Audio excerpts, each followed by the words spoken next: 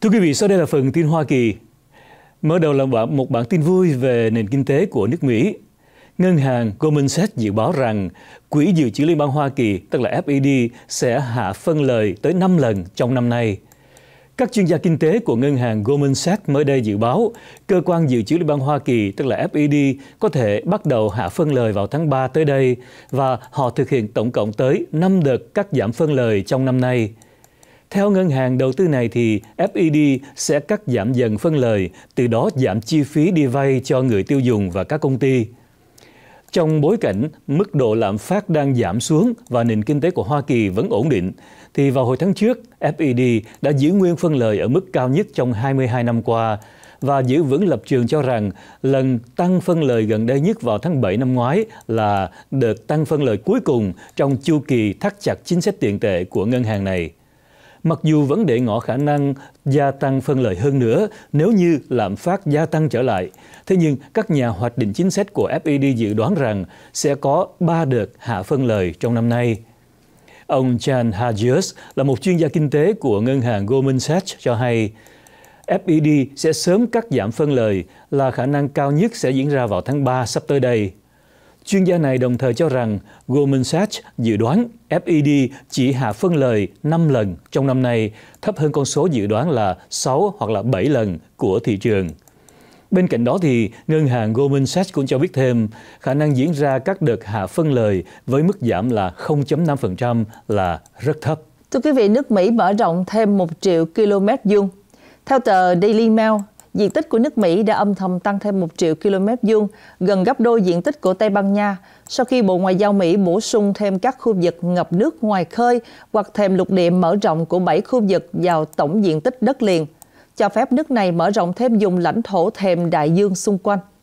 Bảy khu vực trên bao gồm Bắc Cực, Đại Tây Dương, bờ biển phía đông, biển Bering, Thái Bình Dương, bờ biển phía tây, quần đảo Mariana và hai khu vực ở vịnh Mexico. Bộ Ngoại giao Mỹ thông báo đã chuyển tọa độ địa lý xác định đường giới hạn của thềm lục địa tại các khu vực nằm ngoài phạm vi 200 hải lý từ bờ biển. Thềm lục địa mở rộng là khu vực thềm lục địa nằm dưới vùng nước nông. Thềm lục địa mở rộng lớn nhất của Mỹ là ở Bắc Cực, trong khi tất cả các thềm lục địa đều có diện tích gấp đôi California. Viện nghiên cứu Trung tâm Wilson cho biết thông báo này có ý nghĩa rất quan trọng trong việc bảo đảm quyền lãnh thổ của Mỹ ở Bắc Cực. Sự thay đổi này không mâu thuẫn với thỏa thuận vào năm 1990 với Nga về ranh giới biển đi qua eo biển Bering. Tuy nhiên, vấn đề mở rộng có thể chồng chéo với phía Canada và hai bên sẽ phải đàm phán trong tương lai. Vâng, tiếp theo phần tin Hoa Kỳ. Ông Donald Trump đã có chiến thắng quan trọng đầu tiên tại tiểu bang Iowa Cựu Tổng thống Donald Trump đã vượt qua các đối thủ để giành được chiến thắng trong cuộc bầu cử sơ bộ của đảng Cộng Hòa tại tiểu bang Iowa nhằm tìm ra đại diện cho đảng Cộng Hòa ra tranh cử chức vụ Tổng thống năm 2024. Theo phân tích dựa trên số liệu của đài NBC News, đây cũng là cuộc bầu cử đầu tiên của đảng Cộng Hòa trên toàn nước Mỹ. Kết quả chính thức vẫn chưa được công bố. Tuy nhiên, theo hãng tin Reuters, Chiến thắng của ông Donald Trump là kết quả đã được định trước do ông dẫn đầu với khoảng cách khá lớn trong các cuộc thăm dò dư luận. Do đó, cuộc chạy đua ở tiểu bang Iowa phần lớn tập trung vào cuộc cạnh tranh giữa hai đối thủ của ông Trump, đó là thống đốc của tiểu bang Florida là ông Ron DeSantis và cựu đại sứ Liên Hiệp Quốc là bà Nikki Haley. Hai ứng viên này đã cạnh tranh gay gắt để giành vị trí thứ nhì nhằm tìm cơ hội trở thành người thay thế chính cho ông Trump người dân tại tiểu bang Iowa đã bất chấp nguy cơ giá lạnh khi mà nhiệt độ giảm xuống dưới 0 độ C. Họ đã tập trung tại hơn 1.600 trường học, các trung tâm cộng đồng và các địa điểm khác cho cuộc bỏ phiếu kín đầu tiên. Chiến thắng áp đảo của ông Trump ở tiểu bang Iowa sẽ giữ vững lập luận của ông cho rằng ông là ứng cử viên của đảng Cộng hòa duy nhất có khả năng cạnh tranh với đương kim Tổng thống Hoa Kỳ, đó là ông Joe Biden. Thưa quý vị, ứng cử viên của đảng Cộng hòa bỏ cuộc bày tỏ sự ủng hộ cho ông Donald Trump. Đó là doanh nhân Ramaswamy thông báo ngừng chiến dịch tranh cử Tổng thống Mỹ sau thất bại tại vòng sơ bộ ở Iowa và dành sự ủng hộ cho ông Donald Trump. Vị doanh nhân này cũng cho biết ông đã gọi điện cho ông Donald Trump chúc mừng chiến thắng của cựu tổng thống trong vòng sơ bộ ở Iowa. Kết quả kiểm 94% số phiếu cho thấy ông Trump giành được 51,1%.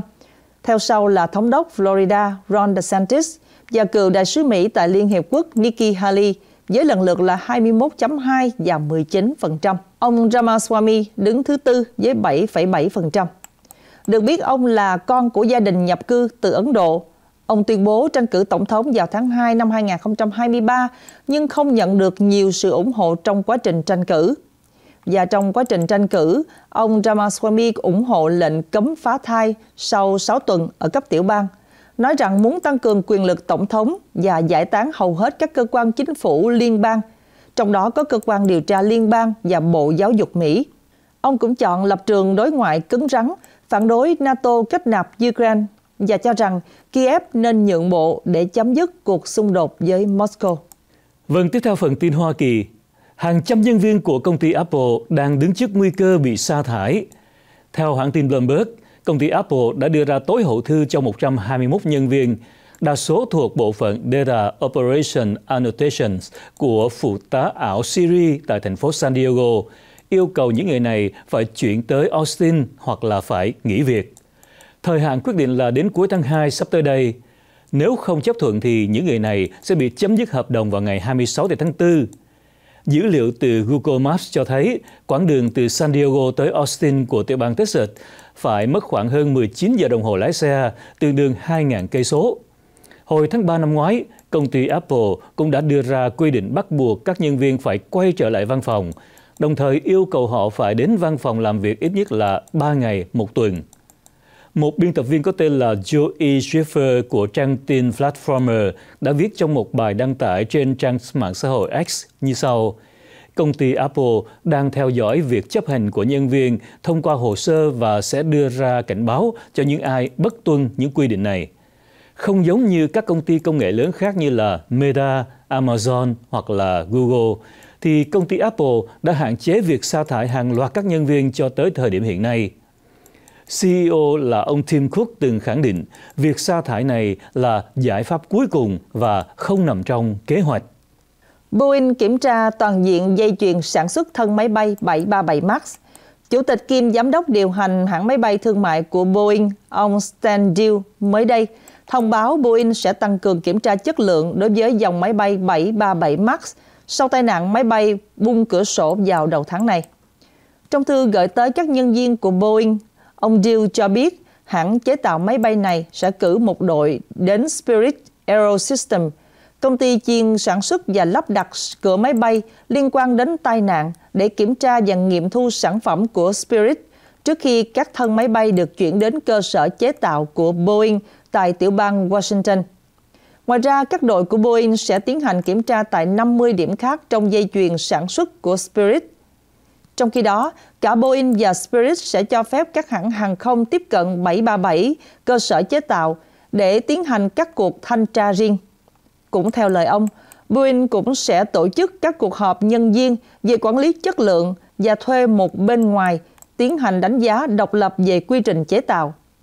Quyết định trên được đưa ra sau khi cơ quan quản lý hàng không liên bang Mỹ ngày 12 tháng 1 thông báo gia hạn lệnh đình chỉ bay vô thời hạn đối với 171 máy bay thuộc dòng Boeing 737 MAX 9 để chờ kiểm tra độ an toàn.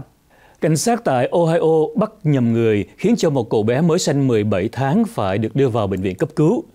Một gia đình tại Ohio cho hay, do cảnh sát xác định nhầm người, cho nên cảnh sát đã đột kích vào căn nhà của họ, khiến cho một đứa bé 17 tháng phải được đưa tới phòng cấp cứu đặc biệt. Camera an ninh được đài WOIO công bố cho thấy hàng chục nhân viên cảnh sát đã bao vây căn nhà này, sau đó họ ném vào một trái đạn khói. Cô Courtney Price là chủ nhân của căn nhà đó khi lúc này đang ở nhà một mình với đứa con trai. Cô cho biết rằng cô đã bị cảnh sát chĩa súng vào người. Đứa con trai của cô là cậu bé Wyland thì biến mất trong làn khói. Một người nữa cùng sống chung nhà này nhưng lúc đó cô đang đi làm. Người này có tên là Rada Jennings. Cô đã quan sát camera từ xa và chiếc camera ở cửa cho thấy cảnh sát đã ném lựu đạn cây qua cửa sổ và trúng vào bé trai. Cảnh sát cho biết như sau, Hai trái lựu đạn gây choáng được ném bên ngoài căn nhà này nhằm đánh lạc hướng sự chú ý của nghi can. Tuy nhiên, cảnh sát phủ nhận việc họ ném một trái lựu đạn gây choáng qua cửa sổ. Gia đình cho hay cậu bé Wayland bị biến chứng về y khoa và đang phải sử dụng máy thở.